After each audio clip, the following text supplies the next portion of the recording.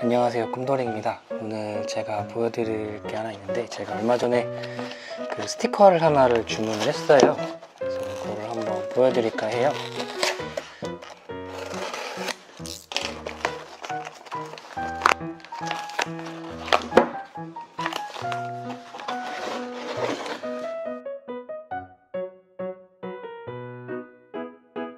짜잔. 자, 이런 스티커인데 어 생각보다 큰데요? 키보드에 붙이는 그 명령어 단축키를 제가 만들어 봤는데요. 스티커로다. 이제 이거를 키보드에 붙이고 사용을 할 거예요.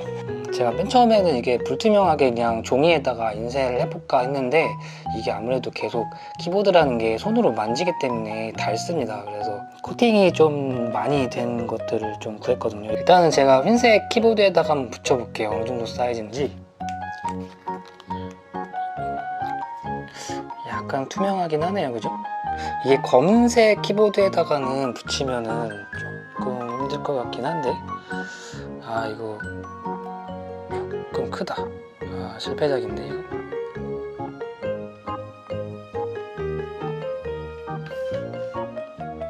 아 너무 큰데요 이거?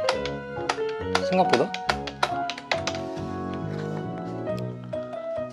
홀은 제가 잘 안 쓰긴 하는데 만들긴 해놨어요 근데 일단 자주 쓰는 명령어들만 제가 일단 붙여볼게요. 아 이게 가리네 글자를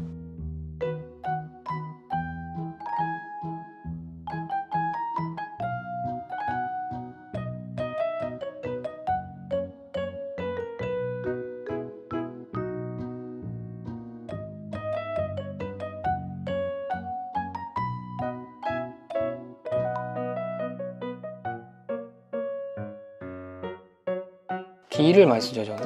D. 어, 생각보다 큰데요? 이건 붙일 데가 없는데 스페이스에다 붙여보죠 이거.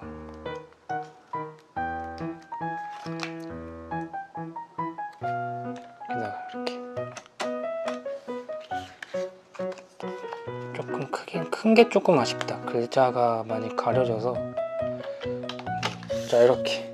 그래서 명령어를 외울 때 조금 편하기 위한 아이콘이 될 것 같아요. 이번에는 제가 맥북에다가 붙여볼게요. 음, 아 이게 맥북이 하, 검은 바탕이야. 큰일 났어. 이거 안 보일 것 같아.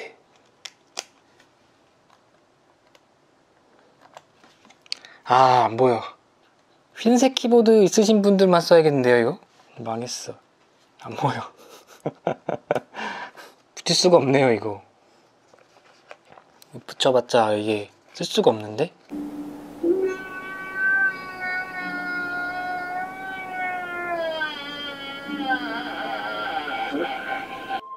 제가 투명 데드롱으로 주문을 했었거든요. 이렇게 검은색 위에 덮질 못해.